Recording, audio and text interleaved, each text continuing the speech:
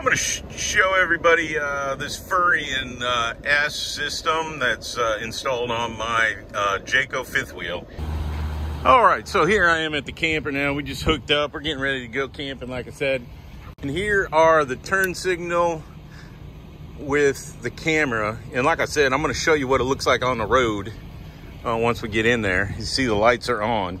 That's one of the things that you need to make sure. You need to make sure your headlights are not on automatic because I thought I had a problem with the uh, with the Furrion because they come on and off. But uh, I'm just checking the lights too. But right up there, there it is. And I think I think our camper's 35 feet, and we have no problem with the signal. So um, that's lights working. That lights working just checking everything out, making sure everything's on the side markers. And here is the passenger side. So, um, as you can tell, they go on just like a regular side light.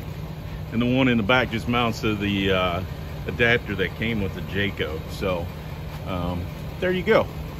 All right, and there's the uh, the camera and you can hit it and then you can go left side that's what's coming out my left camera the right side and just the rear.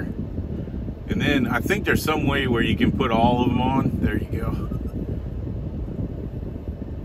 That's not right. Come on. I know you want to. There we go. So that's the back left and right. Pretty cool. Um, I think I got the five inch screen, but uh, seven inch screen would probably be more helpful.